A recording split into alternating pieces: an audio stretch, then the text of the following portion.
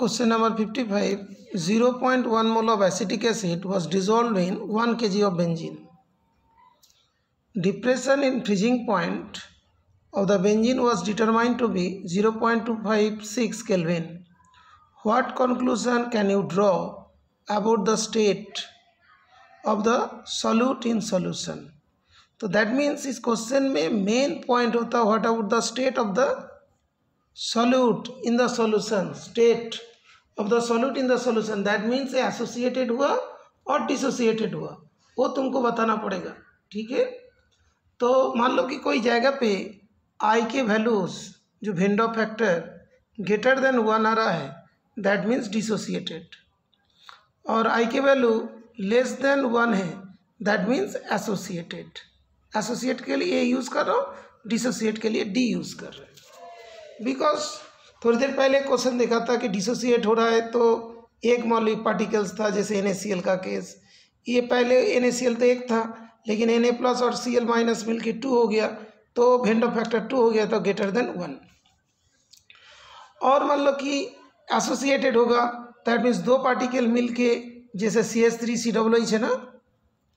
जैसे तुम्हारा, ये जो C S three C S three C double H जो वीडियो में भी तुम लोग को दिखाई देगा। दो मॉलिक्यूल लेते तो इसके एक डाइमर बन जाते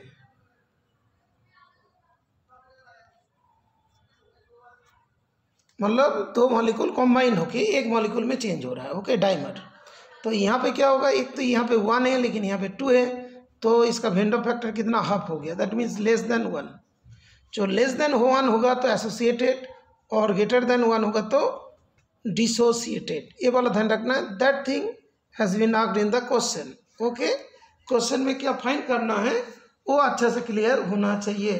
ओके तो इसमें से देखो, पहले हम लोग को क्या फाइंड करना है? दैट इज़ आई के वैल्यूज़ फाइंड करना पड़ेगा। ओके तो देखो अभी। Delta T F equals to K F two M delta T F equals to K F into M that is correct delta T F कितना है? Zero point two five six. Molarity number of moles mass of solvent in K G number of moles zero point one. एक K G solvent था तो zero point one हो गया molality तो इसके बाद हम लोग सॉल्व करेंगे। सॉल्व करके सारे वैल्यूज़ को पुट कर रहे हैं। Delta T F I into K F values करके आ गया I cos to zero point five लेकिन ये आंसर्स नहीं हुआ। इसमें थोड़ी चेंज मान लो और लिखना पड़ेगा कि दैट इज़ एसिटिक एसिड वो सॉल्यूशन में, देखो यहाँ पे जो दिया था ना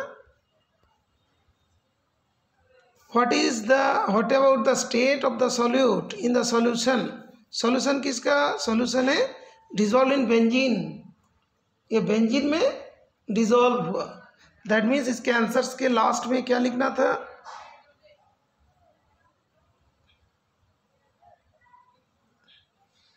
आंसर के लास्ट में ये लिखना था it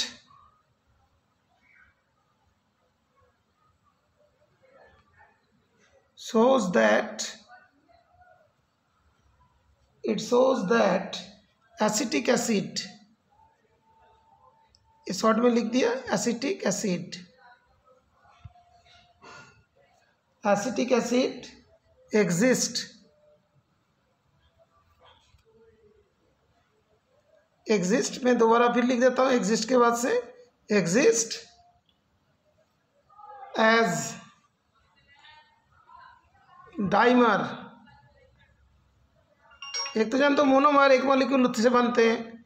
डाइमर दो मॉलिक्यूल से एक बन गया तो डाइमर ट्राइमर तीन मॉलिक्यूल से एक बन गया तो और टेट्रामर चार से तो ये हो गया डाइमर ठीक है बेटा?